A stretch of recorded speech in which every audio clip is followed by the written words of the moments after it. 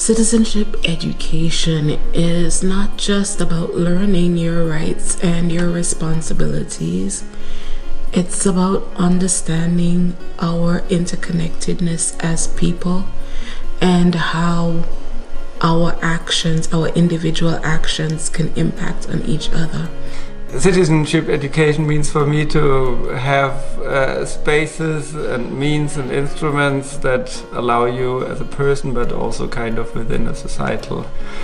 uh, uh, situation or surrounding or in an environment with other people to consider whether things that you assume about society are right or wrong, or there are things that uh, make probably your assumptions look different than you thought. It is important to me that we give people the opportunity to know where they be, understand the place they belong in their role in our communities, wherever they may be,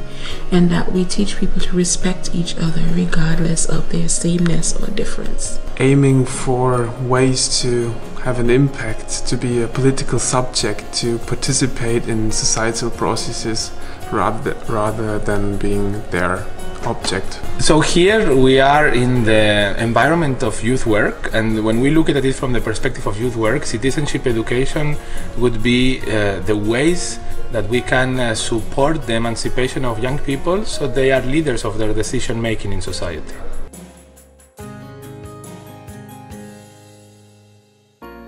Sometimes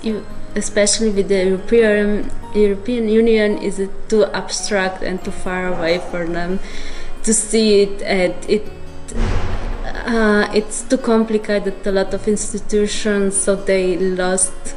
the red line and then the interested and think they're just helpless. Even in our field and our practice we still need to identify how we can better work together